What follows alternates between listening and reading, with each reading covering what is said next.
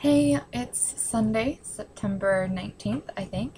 Um, I'm really sorry I didn't make my video yesterday. It kind of just completely slipped my mind, even though I had plenty of time to do it. I'm so, so sorry. Um, I really told you everything about my day. Let me show you the string that I got so I can make our friendship bracelets.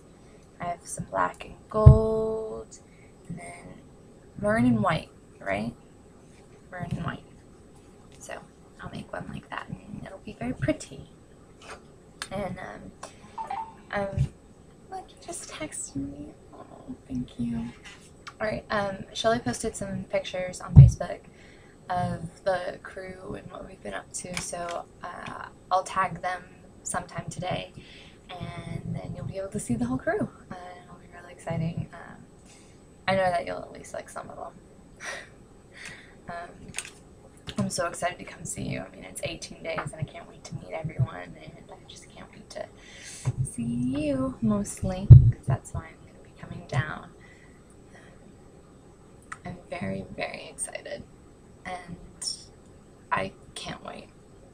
I'm, I'm so, I can't believe that it's so soon. I can't believe that like it's only 19 days or 18. It's crazy I'm so happy. Today I have my meeting for soccer. I'm really excited. I'm captain of the soccer team, or co-captain, Shelly and I. Um, I feel bad because she's done a lot of the work, like taking the caption quiz and things like that, but don't worry. We're gonna be an awesome team. We're called Scrantonicity. I don't know, Scrantonicity. Um, so that's very exciting. Um, Last night we had our Amish pie, which was the best pie I've ever had. It was so good.